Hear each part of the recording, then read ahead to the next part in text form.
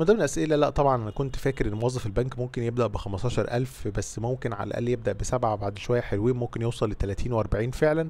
الحقيقة مع احترام لحضرتك الكلام ده يا فندم غير مظبوط. أنا معرفش أنتوا بتجيبوا الكلام ده منين؟ موظف مين البنك اللي بيبدأ بسبعة وبعد شوية حلوين؟ إيه شوية الحلوين دول؟ بعد سنتين يقبض 30 و40 ألف؟ مفيش الكلام ده. حضراتكم بتجيبوا الكلام ده منين؟ أنا بقول لكم حضراتكم بيجيبوا الكلام ده منين؟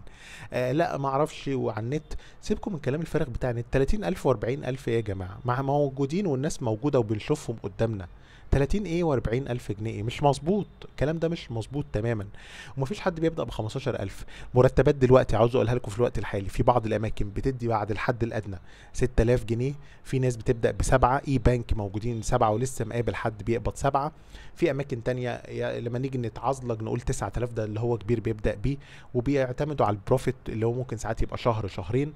ده أغلبية البنوك. في ناس بتنزل لها دخلت المدارس ودخلت رمضان والكلام ده لكن 30 و40 إيه؟ ده ممكن يبقى مدير فرع بياخد 30 ألف جنيه. لكن بنتكلم موظف يقبض له بتاع مش معقول يا جماعة أنتوا بتجيبوا كلام مش مظبوط. أنا اشتغلت وشفت الحاجات دي قدام عيني.